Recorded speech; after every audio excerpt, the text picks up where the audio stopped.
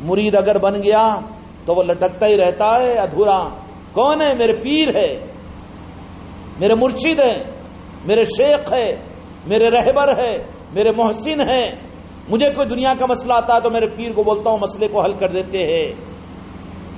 ارے بابا، ابھی نہیں بن سکا، ابھی تیرے ٹانگ لٹک رہے ہیں۔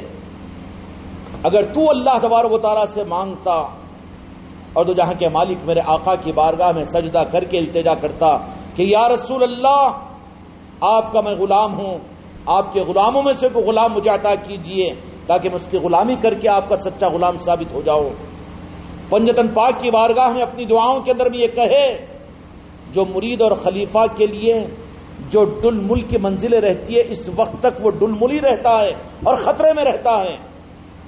یا پیر کہہ دے گا، یا شیخ اور کیا بولتے یا مرشد یا مرشد، یا رہبر۔ یہ سب کچی منزلیں ہیں، خطرات میں ہیں وہ۔ اس کے بجائے ان منزلوں کے اندر میں جو مرید اور خلفا ہے، کہ پیر سمجھ رہے ہیں، رہبر سمجھ رہے ہیں، اچھے آدمی سمجھ رہے ہیں۔ سمجھ میں آ رہی بات؟ مرشد سمجھ رہے ہیں، مرشد سمجھ رہے ہیں، رہبر سمجھ رہے ہیں۔ تو یہ سب کچے کھلاڑیاں ہیں جو خطرے کے اندر میں ہیں۔ اب ان کو کیا کرنا چاہیے؟ روزانہ دو رکعت سلاط الحاجات دو مہینے تک عشاء کے بعد میں پڑھے اور رب کی بارگاہ میں کرے کہ اللہ تو نے قرآن و مجید کے اندر میں وعدہ کیا ہے کہ تو جس کو پسند کرتا ہے اس کو مرشد کامل عطا کرتا ہے۔ یا اللہ، مجھے مرشد کامل عطا فرما۔ اور اس کا علم مجھے عطا فرما، مجھے اس کا عقیدہ عطا فرما، اس کی محبت عطا فرما۔ جو خلیفہ، جو مریدین ابھی تک یہ کچے میدانوں کے اندر میں چل رہے ہیں، جو پیر کو صرف پیر سمجھتے ہیں، شیخ سمجھتے ہیں، مرشد سمجھتے ہیں، یا پیر سمجھتے ہیں، یا رہبر سمجھتے ہیں، وہ کچے ہیں۔ ان کو کیا کرنا چاہیے؟ دو مہینے تک عشاء کی نماز کے بعد میں دو رکعت سلاط الحاجات رب کی بارگاہ میں پڑھنا اور پڑھ کر کہنا کہ یا اللہ، تو نے قرآن پاک میں وعدہ کیا ہے سورہ کہف کے اندر میں کہ جن بندوں کو نوازنا چاہتا ہے تو مرشد کامل عطا کرتا ہے۔ یا اللہ، مجھے مرشد کامل عطا فرما۔ اگر میرا مرشد کامل ہے تو عقیدہ عطا فرما، میرے پیر کی محبت مجھے عطا فرما۔ کیا عطا فرما؟ وہ مانگنا چاہیے کس سے؟ اللہ سے۔ اس سے مانگنا چاہیے۔ اب جب وہ عقیدہ عطا کرے گا رب رب سے تم نے مانگا، تو رب تو دھوکہ نہیں دے گا نا۔ تو پھر عقیدہ نہیں، بلکہ وہ صحیح محبت بھی عطا کرے گا۔ کیا کرے گا؟ پھر وہاں سے توسط پکڑو میرے آقا دو جہاں کے مالک، محمد رسول اللہ صلی اللہ علیہ وسلم، کہ یا رسول اللہ، رحمت العالمین ہیں۔ ہم پندرہویں صدی کے اندر میں ہیں۔ نہ علم ہمارے پاس میں، نہ عمل ہمارے پاس میں۔ لیکن دامن ہم نے تھاما ہے۔ یا رسول اللہ، اگر یہ دامن صحیح ہے جو آپ تک پہنچنے کا ہے، تو ہمیں عقیدہ اور اپنے پیر کی محبت عطا فرما، میرے مصطفیٰ کی بارگاہ میں دعا کرے۔ کیا کریں؟ دو مہینے تک سارے خلیفاؤں کو، سارے مریدین کو، ساری مریدان کو میرا حکم ہے۔ یہ معمولات ہے دو مہینے تک۔ اس کے بعد میں پھر کہہ دینا کہ امت کو سنبھالنے کے لیے یا رسول اللہ، آپ نے پنجتن پاک اور اہل بیت اور آل رسول کو قیامت تک کے لیے امت کو سنبھالنے کی ذمہ داری عطا فرمائی۔ مانگو پنجتن پاک کی بارگاہ میں یا پنجتن پاک، یا مولا کائنات، یا مولا علی، یا مولا حسن، مولا حسین۔ ہم آپ کے بے دام کے بندے بننا چاہتے ہیں۔ آپ ہمارے ہاتھوں کو تھام لیجیے اور ہماری گردنوں کو سنبھال لیجیے اور ہم کو اپنے سپاہیوں کا اصل نظام عطا کیجیے۔ اور کوئی ایسی اپنے نمائندے کی نسبت عطا کیجیے کہ جہاں پر ہمارے دل میں عقیدے کے ساتھ میں ہم کو تو تمہارے وہ سچے سپاہی کی محبت بھی ہمارے دل میں، ہماری جان سے زیادہ ہمارے مال اور ہماری آل اولاد سے زیادہ ہمارے دل میں پیدا ہو جائے اور اتنی محبت آ جائے کہ پیر کے حکم پر ایک لمحے میں آل اولاد کو اور اپنے وطنوں کو ہم لات مارنے کے لیے تیار ہو جائے۔ محبت اصل میں آتی ہے اگر ان کی طرف سے دی جاتی ہے تو اس کی علامتیں یہ ظاہر ہوتی ہے زندگی کے اندر میں۔ ورنہ اپنے مزاج کے مطابق میں جتنا اپنے کو سمجھ میں آ اتنا ہی پورا کرنا، یہ کرنا۔ تو یہ سب یہ کچی گولیاں ہیں ابھی۔ اس کے بعد میں پھر میرے مریدین اور میرے خلفاء اور میرے مریدان منزلوں کے کھوٹے پن میں مت رہ کر اپنی زندگیوں کو، صلاحیتوں کو برباد کرو۔ بلکہ دو مہینے تک دو رکعت سلاط الحاجات رب کی بارگاہ میں پڑھ کر میرے مصطفیٰ کی چوکھٹ پر اپنے سر کو ٹھکا کر، پنجتن پاک کے در پر خیرات مانگ کر، پھر کہو کیونکہ قیامت تک کے لیے ولایت کے نظام کو چلانے کی ذمہ داری غوث العظم کے ذمے ہے۔ کس کے ذمے؟ ہے غوث العظم کے ذمے ہیں اور ہندوستان والوں کے لیے، ہم غلاموں کے لیے، طریقت کے نظام کو اور حقیقت کے دینے کے لیے سلطان الہند غریب نواز کی ذات ہے۔ اس دعا کے اندر میں کہے کہ یا غوث العظم، یا غریب نواز، ہم کو کامل کا دامن اگر عطا کیا ہو، تو اس کا عقیدہ بھی نصیب فرما دیجیے اور ان کی محبت بھی ہمارے دل کے اندر میں ڈال دیجیے۔ اور اگر نہ ہو، تو پھر ہم کو کوئی کامل دامن عطا کیجیے۔ میرے غوث و خواجہ تو محروم نہیں کریں گے نا۔ اگر واقعتا تمہارا ہی ہے، تو پھر ہم کو کچا مت رکھیے۔ کچا مت رکھیے۔ یا پیر اسی میں خوش۔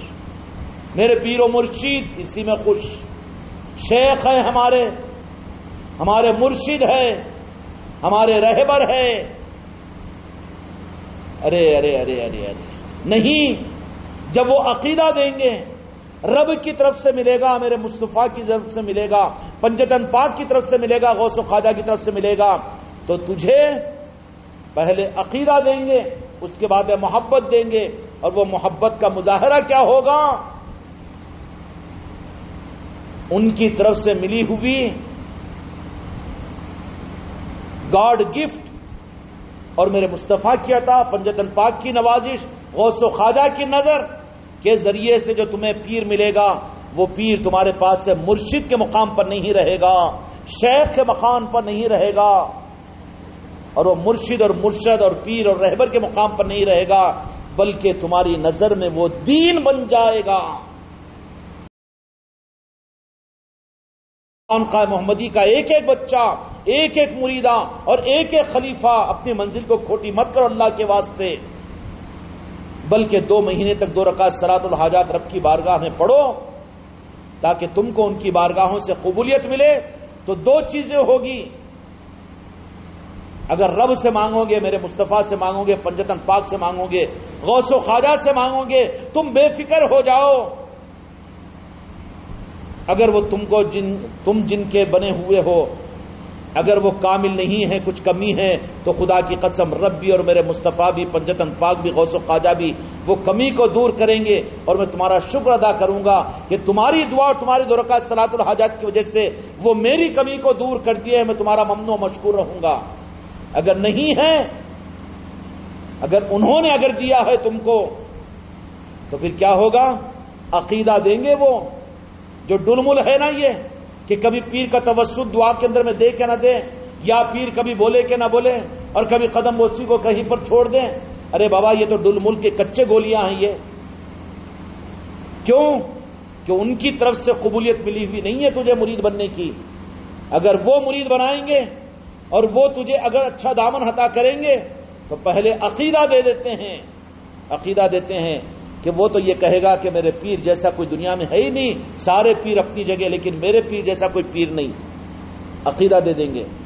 اس کے بعد میں پھر محبت بھی دیں گے وہ، اور محبت کا ثبوت یہ ہوگا کہ پھر اپنی ذاتی کوئی رائے نہیں رکھے گا، بلکہ اپنے پیر کو، جس کو اللہ اس کے محبوب، میرے آقا، پنجتن پاک غوث و خواجہ، کسی مرید کامل کو اپنے پیر کی محبت ادا کرتے ہیں، اس کے سب سے بڑی پہچان یہ ہوتی ہے کہ وہ پیر کو اپنا پیر یا پھر مشائق یا پھر شیخ یا رہبر یا مرشد نہیں سمجھتا، بلکہ اپنے پیر کو دین سمجھتا ہے۔ کیا سمجھتا ہے؟ دین سمجھتا ہے، یہ گاڈ گفٹ ہوتا ہے، یہ میرے آقا کی طرف سے عطا کی ہوئی چیز ہوتی ہے۔ جن مریدین کو یہ حاصل ہے، شکر ادا کیجیے۔ اور جن کو حاصل نہیں ہے، آج سے میرا میرا ان کو حکم ہے یہ کہ دو رکعت سرات الحاجات عشاء کے بعد میں پڑھو اور رب کی بارگاہ میں کہو، قرآن پاک میں آپ نے فرمایا کہ جن بندوں کو آپ نوازنا چاہتے ہیں، مرشد کامل عطا فرماتے ہیں، یا اللہ، آپ نے اس وعدے کے مطابق ہم کو مرشد کامل کا احساس عطا فرمائیے اور مرشد کامل عطا کیجیے پھر میرے مصطفیٰ کی بارگاہ میں سجدہ کر کے کہو، یا رسول اللہ، آپ رحمت العالمین ہیں۔ آپ تک پہنچنے کے لیے آپ کے سچے غلام کا دامن ہمیں عطا فرما دیجیے۔ وہاں سے نکل کر پنجتن پاک کی بارگاہوں میں آؤ۔ مولا حسن اور مولا حسین سید کائنات مولا علی علیہ السلام کی بارگاہ میں آ کر کہو کہ حق کو قیامت چلانے کی ذمہ داری آپ کی ہے۔ آپ ہم کو ایسا پیر کامل عطا کیجیے یا ہم کو اس کا فہم عطا کیجیے، سمجھ عطا کیجیے، بصیرت عطا کیجیے کہ ہم پہچانیں ورنہ ہم تو بھٹکتے رہیں گے۔ پیر مرشید رہبر، شیخ بھٹکتے رہیں گے، کچا راستہ ہے یہ۔ کیونکہ مرشد کہیں مل جائیں گے، شیخ کہیں مل جائیں گے، رہبر کہیں نظر آ جائیں گے۔ ہوگا کہ نہیں ہوگا؟ پھر وہاں سے پنجتن پاک کی بارگاہ سے، غوث و خواجہ کی بارگاہ میں ان کی چوکھٹوں پر سر کو ٹکاؤ۔ اور ٹکا کر کہو کہ ہم تو آپ کو جانتے ہیں اب مالک ہندوستان ہے ولایت کے سرتاج غوث العظم پیرانے پیر ہے۔ یا غوث و خواجہ، آپ کی در پر ہم بھیک مانگتے ہیں، اس بھیکاری کو بھیک عطا کیجیے کامل پیر کی صورت میں۔ اگر ملا ہوا ہے تو پھر عقیدہ عطا کیجیے۔ اگر عقیدہ ہے تو پھر محبت کی بھی خیرات ہمیں عطا فرما دیجیے۔ تو پھر عقیدہ ملے گا۔ تو عقیدے میں تو صرف ایک رہتا ہے، عقیدے کی پہچان ہے۔ تعظیم میں کئی ہو سکتے ہیں، لیکن عقیدے میں صرف ایک رہے گا۔ کیا رہے گا؟ ایک ہی رہے گا عقیدے میں۔ عقیدے میں شرک نہیں جمتا، دو کو رکھنا نہیں جمتا۔ عقیدے میں تو صرف ایک رہے گا۔ نکٹا ہے کہ چپٹا ہے، کالا ہے کہ کلوٹا ہے۔ بے عمل ہے کہ بد عمل ہے، کچھ بھی ہو، لیکن وہ میرا پیر ہے، کہے گا وہ۔ ارے ویسا ہے، کوئی پرواہ کی بات نہیں۔ تمہارے لیے کچھ ہوگا، لیکن میرا تو وہ پیر ہے، کیونکہ عقیدہ میں جب مرید کو عقیدہ ملتا ہے، تو وہاں پر صرف ایک پیر ہی رہتا، کوئی اور نہیں رہتا۔ نہیں تو انہیں کانا لگا کے سنتا نہیں۔ اچھا وہ بول رہے کہ ہاں حضرت کے بارے میں ایسا کی ایسا کی اچھا ویسا کی۔ تو انہیں تو سیدھا یہ جواب دے دے گا کہ کچھ بھی ہوگا، میرے سامنے بکواس مت کرو، میرے لیے تو وہ میرا پیر ہے۔ کیا کہے گا؟ وہ تو میرا پیر ہے۔ میں کیا کہہ رہا ہوں کہ تم اپنا پیر مانو۔ وہ تو میرا پیر ہے، اس کے بارے میں میں نہیں سنوں گا۔ اور اس کے بارے میں میرے سے گفتگو نہیں کرنا بدتمیزی کی۔ نرم نہیں پڑے گا، سنے گا نہیں۔ اصلاح کرنے کے چکر میں نہیں رہے گا۔ بلکہ وہ تو کہے گا، جہاں عقیدہ دے دیں گے میرے غوث و خواجہ، تو پھر عقیدے میں صرف ایک رہے گا پیر۔ سارے مشائقین کی قدر کرے گا، سارے پیروں کے بارے میں گستاخی نہیں کرے گا۔ لیکن عقیدہ جہاں پر غوث و خواجہ کی طرف سے ملے گا، تو طریقت کا عقیدے میں پیر صرف اکیلی ذات رہے گی، اس کے مقام پر خلیفہ بھی نہیں رہے گا، کوئی اور دوسرا رہے گا ہی نہیں، بلکہ عقیدہ جس کو ملا، اس کی پہچان کے صرف ایک پیر رہے گا۔ پھر کہو غوث و خواجہ کو، عقیدہ بھی آپ عطا فرما دے تو پھر محبت بھی تو دے دیجیے اور جس مرید کو، جس خلیفہ کو، جس مریدہ کو محبت مل جائے گی، اس کی پہچان محبت کو چھپا کے محبت چھپتی نہیں رہے بیٹا۔ یہ دھوکہ ہے۔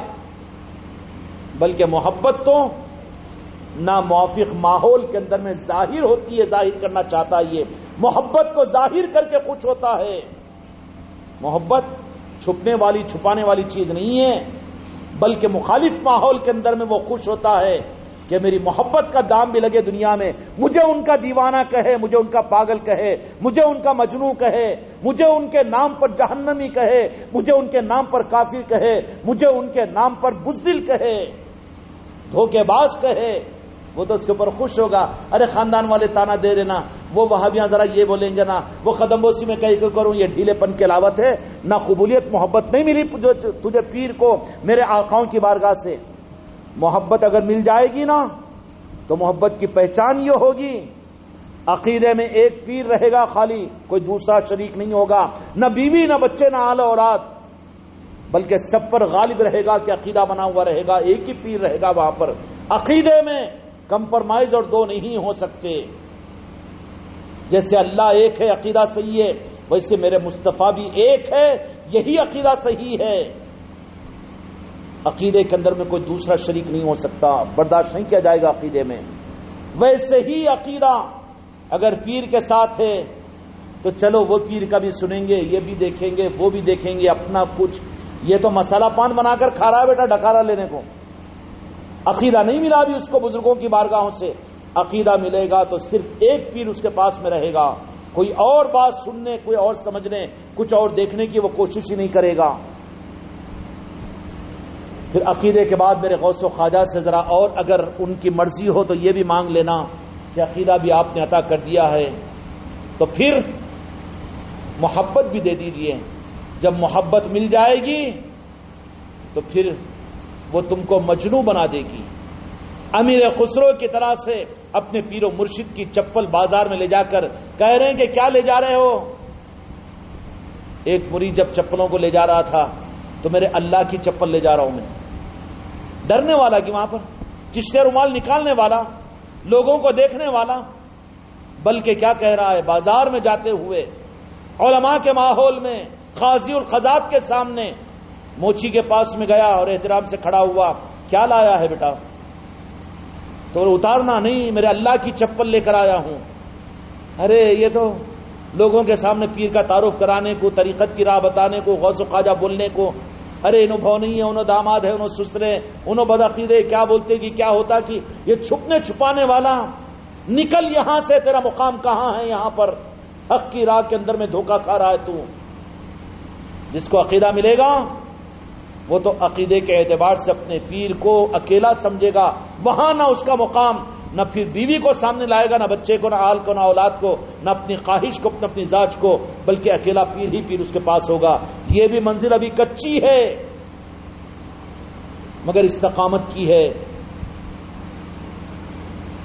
عقیدے میں اس پر بھی بات نہیں بنے گی۔ عقیدے کے بعد کا جو نمبر آئے گا، اگر میرے آقاؤں کی بارگاہ میں قبول ہوگا، تو پھر وہ اپنے پیر کی محبت عطا کریں گے۔ اب محبت جب آ جائے گی نا تو پھر وہ محبت کو چھپانے والا نہیں ہوگا، بچانے والا نہیں ہوگا، دکھانے والا ہوگا، ظاہر کرنے والا ہوگا۔ ماحول پورا ایسا ویسا۔ لیکن چاہے گا کہ میری محبت کو ثابت کرنے کا تو اچھا موقع ہے۔ یا پیر کہے گا عیدگاہ میں جا کر۔ بدعقیدوں کے جنازے کے اندر میں جائے گا۔ یا پیر المدد کرے گا۔ ولیمے میں احترام کے ساتھ میں بلایا ہے۔ تو جا کر کہے گا کہ یا میرے پیر نظر کرم کیجیے۔ آواز سے کہے گا اس لیے کہ محبت چھپتی نہیں ہے۔ اور جو چھپا رہا ہے، چھپ رہا ہے، چاہے وہ خلیفہ ہو یا مرید ہو، مریدہ ہو، تو ابھی اس کو حق کی منزل، حقیقت میں ان بزرگوں کی طرف سے نہیں ملی۔ مل جائے گی تو وہ تو چاہے گا کہ اس محبت کو ظاہر کرے۔ اس لیے میرے بچوں، محبت بھی مانگو تو رب سے، محبت مانگو اپنے پیر کی تو میرے آقا کی نالے نے پاک سے۔ محبت مانگو تو پنجتن پاک سے، محبت مانگو تو غوث و خواجہ سے۔ وہاں بھی میں نے دو آپشن، معاف کرنا یا غریب نواز یا غوث العظم یا پنجتن پاک مجھے۔ لیکن دو رخ میں نے بتا دیا تم لوگوں کے اطمینان کے لیے، تمہاری رعایت میں، میرے مریدوں اور خلیفاؤں کے لیے۔ اعتقاد اور یقین کے ساتھ میں نہیں کہ کہہ دینا وہاں پر کہ کوئی کمی ہے تو ہم کو جس پیر کے ساتھ میں آپ نے جوڑا ہے ہم کہتے ہیں، ہم درخواست کرتے ہیں کہ اس کمی کو دور کر دو۔ میں تمہارا احسان مند ہوں گا، تمہارا، تمہارے میں پیروں پر ہاتھ رکھنے کو تیار ہو جاؤں گا کہ تمہاری وجہ سے میری کمی دور ہو جائے تو۔ لیکن کمی، چونکہ مجھے اعتماد ہے، مجھ سے وعدہ ہے کہ کمی ہوگی تو آگاہ کر دیا جائے گا تو میرا تو یہ غلط جملہ ہو جائے گا۔ میرے غوث و خواجہ مجھے معاف فرمائے، مولا علی مجھے معاف فرمائے۔ لیکن میں جو کہہ رہا ہوں، میرے دل و دماغ سے زیادہ میرے اندرون سے زیادہ، میرے باطن سے زیادہ میرے مولا علی جانتے ہیں کہ میں ان بچوں کی احتیاط کے لیے کہا ہوں۔ کہہ دینا وہاں پر کہ جو کمی ہو دور کر دیں۔ اس کے بعد نے کہو، عقیدہ عطا کیجیے۔ یہ ڈھیلے ڈھیلے پن کی وجہ سے زندگیاں ضائع ہو رہی ہے ترغیب دینا پڑ رہا ہے۔ ظاہری طور کے اوپر کتنا مجبور کر رہے ہو تم اپنے پیر کو۔ پیر کا وسیلہ دو۔ دعاؤں کے اندر میں وسیلہ کیوں نہیں دے رہے ہو؟ اور کیوں ظاہر نہیں کر رہے ہو؟ کیوں شرمتے ہو؟ بڑے مجموعوں میں جانے کے اندر میں تم شرم آ رہی ہو؟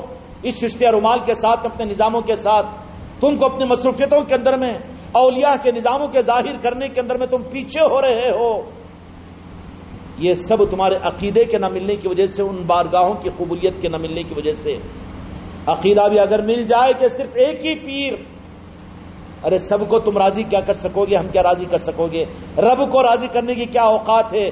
جو پیر ملا ہوا ہے، اسی کو راضی کر لو، اسی میں سب کی رضا مل جائے گی۔ آسان ہے کہ نہیں ہے؟ عقیدہ بھی اگر نہیں ملا ہوا ہے، اگر مل گیا ہے کسی کو، تو پھر محبت بھی مانگ لیجیے۔ محبت مل جائے گی، تو پھر وہ مرید، وہ خلیفہ، وہ مریدہ اپنے پیر کی محبت کے اظہار کو ناموافق حالات میں ظاہر کرے گا۔ میری بچیاں تو اغد اور ولیمہ اور بازاروں کے اندر میں چشتے رومال کو دیکھ کر کوئی گھور کر دیکھے تو کہہ دیں گے کہ یہ رومال ہمارے نسبت کی پہچان، ہمارے خانقاہ کی پہچان ہے۔ ہم فلاں سے مرید ہے فلاں خانقاہ سے ہمارا تعارف ہے۔ کہنے سے، ان کے پوچھنے سے پہلے تم ظاہر کرو گے۔ تقریبوں میں جاؤ گے تو لوگوں کے سامنے بات بتاؤ گے تم۔ وہ پوچھنے کا انتظار نہیں کرو گے۔ کیوں بہت گر رہے بہن؟ یہ ہماری جو نسبت ہے نا، ہماری خانقاہ کی نسبت ہے۔ ہمارا تعلق خانقاہ محمد اجمیری نصرتی کے ساتھ میں ہم فلاں پیر کے مرید ہے یہ کیا ہوتی پیری مریدی؟ حق کے راستے کے لیے رہ حق کے راستے کے لیے اللہ رسول کی طرف سے گفٹ ہوتا ہے کسی پیر کا ملنا۔ قرآن پاک میں اللہ نے فرما دیا، بتاؤ قرآن کیا ہے تمہیں احادیث بتاؤ انہیں۔ پنجتن پاک کے اقوال بتاؤ انہیں۔ غوث و خواجہ کے اقوال بتاؤ۔ نہیں ہے سارے پیر مریدی کے سلسلے میں۔ پھر ڈرتے کس بات کے؟ کیا بزدلی ہے یہ اسرا کے اندر میں؟ جب محبت کسی کو مل جائے گی نا، تو اس کی ادنا پہچان یہ ہوگی۔ اپنوں میں گڑ گھولنے والا، اپنی مجلسوں میں ناچنے کودنے والا، یا پیر بولنے والا۔ یا میرے رہبر، یا میرے پیر، یا میرے شیخ، یا میرے نصرت پیا، یہ بولنے والا نہیں ہوگا، بلکہ وہ اپنی محبت جس کو میرے غوث و خواجہ نے عطا کی تو نصرت کا نام تو مخالفین میں لے کر وہ خوش ہوگا اس کے اوپر۔ سمجھ میں آ رہی بات؟ یہ محبت کی پہچان ہے۔ اور محبت کی دوسری مضبوط دلیل بھی بتا دوں۔ بتاؤں جی انجم بھائی، دوسری دلیل یہ ہے کہ پھر وہ پیر کو رہبر شیخ مرشد مرشد نہیں کہے گا، بلکہ دین سمجھے گا، دین کہے گا۔ کیا کہے گا؟ ماں دینوں کا سوال کیا گیا قبر کے اندر میں تو عبد القادر کا دھوبی کہا نا جی؟ کیا کہا؟ ارے پوچھا جا رہا ہے دین۔ من ربو کا کہا جا رہا ہے۔ عبد القادر کا دھوبی کھیل و تماشا نہیں ہے اصل پیری مریدی۔ کیونکہ وہ اصل پیری مریدی کی پہچان نہیں ہے اس زمانے میں۔ اس کے لیے چلو غنیمت ہے جو کچھ بھی ہے۔ لیکن میرے بچوں، راستے اگر ملے ہوئے ہو تو حق تک پہنچو۔ اور اصل تک پہنچو، ورنہ پھاٹیوں پر، پتوں کے اوپر، پھولوں کے اوپر خالی اپنی زندگی کو مست گما دو، بلکہ کوشش کرو کہ جڑ تک پہنچ جائے۔ پھر کیا ہوگا؟ محبت اگر عطا کی جائے گی غوث و خواجہ کی طرف سے، تو پھر اپنے پیر کو کامل مرید، جن کو غوث و خواجہ محبت عطا کریں گے، اور تکمیل ہوگی راہ طریقت میں اس کی۔ تو اس کو جب محبت عطا کریں گے تو اس کا رخ یہ ہوگا کہ وہ اپنے پیر کو پیر، مرشد مرشد، شیخ مشائق نہیں کہے گا، بلکہ دین کہے گا وہ۔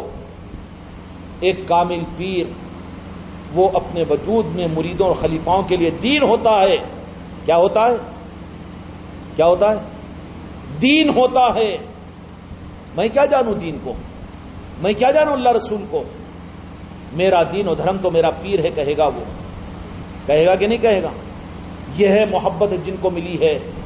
یہ منزل ہے میرے خانقاہ محمدی اجمیری نصرتی کے بچوں۔ تم تناہیوں میں سوچ کر محنت میں لگو۔ اور مانگو رب سے، مانگو میرے مصطفیٰ سے۔ اور مانگو پنجتن پاک سے۔ اور مانگو غوث و خواجہ سے۔ یہ تم کو وہاں ملے گی دولتیں۔ میں تو تمہارے حاضمے سے زیادہ اپنے کو منوا رہا ہوں میں۔ ہاں؟ دعا میں وسیلہ کیوں نہیں دیتے؟ میرے کہنے کی بات ہے وہ۔ یا پیر کیوں بھول جاتے ہو؟ اور ظاہر کرنا اپنے آپ کو کیوں چھپاتے ہو؟ مجموع سے، جامع مسجدوں سے، عیدگاہوں سے، یا بڑے بڑے مجموعوں میں جانے سے تم شرم کیوں کر رہے ہو؟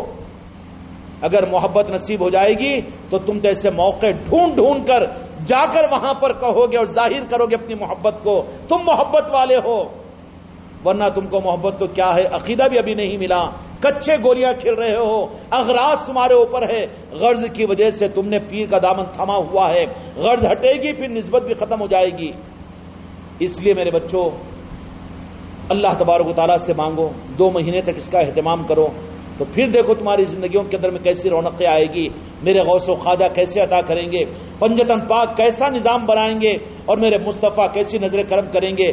رب العالمین کیسے تمہیں ہدایت عطا کرے گا؟ اللہ تعالیٰ حقیقی ہدایت ہم کو آپ کو عطا فرمائے۔ بحق لا الہ الا اللہ محمد رسول اللہ۔